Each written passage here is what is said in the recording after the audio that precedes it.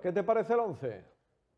¿Qué tal, Isidro? Pues me parece un 11 que va a intentar evitar sobre todo las fortalezas que tiene Osasuna para sacar el mejor juego entre líneas del que presumiblemente hoy esté en esa zona indetectable de media punta, Joaquín Sánchez, aunque vamos a ver cómo se van a ir moviendo.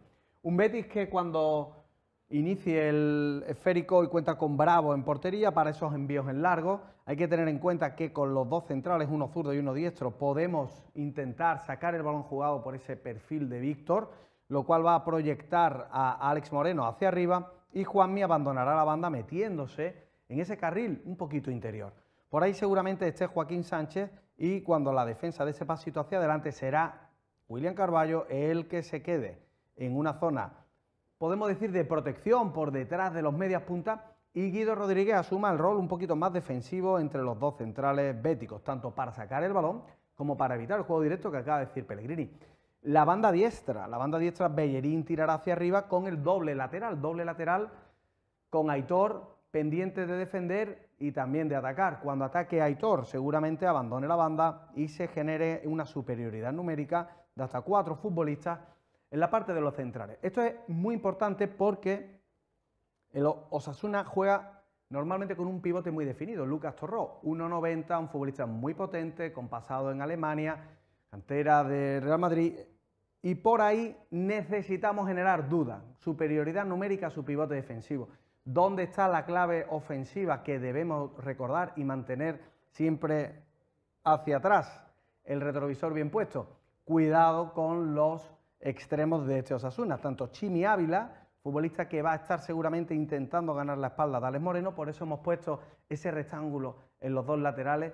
Chimi Ávila va a intentar, cayendo hacia la banda, arrastrar a Víctor, buscando que cuando tire Alex Moreno se generen dudas en la defensa verde y blanca. Y el peligro no viene por ahí, el peligro viene si de ahí centran y buscan el área, a espalda, por lo tanto, de Bellerín que debe también estar muy atento porque por ahí Rubén García y los laterales, sobre todo Manu Sánchez, cedido por el Atlético Madrid, ya debutó con el Cholo Simeone, luego lo veremos un poquito más en profundidad, muy profundo, son la fortaleza de un Osasuna que lo tiene muy claro.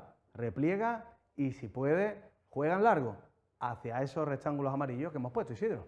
Los anuncios a navegantes eh, que lanza el querido Jesús Botello a la hora de analizar el 11 del Real Betis Balompié, teniendo en cuenta también como, eh, bueno, el pasado fin de semana, no, hace dos, en la pasada jornada, en la vigésimo novena, al Levante por tres goles a uno. Pizarra táctica, Botello.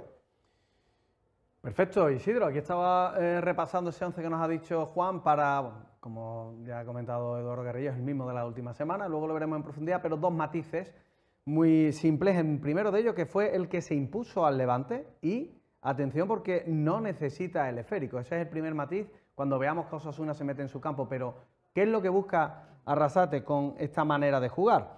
Que desde atrás, atentos a David García, uno de esos futbolistas que dentro de poco seguramente veamos en algunos de los equipos eh, más punteros de la primera división española, por lo que da a acciones de balón parado y en salida de balón.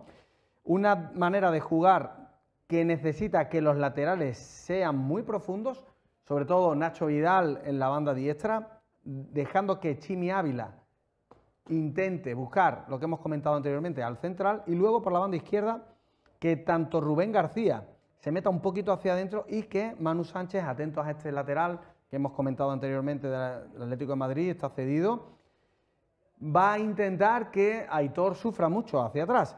En definitiva es un equipo, este Osasuna, que cuando tenga el balón no necesita tocar y digamos salir jugando desde atrás. Si puede, va a jugar directo, pero no es pegar un pelotazo por dar. Tiene mucha intencionalidad buscando esos dos rectángulos amarillos.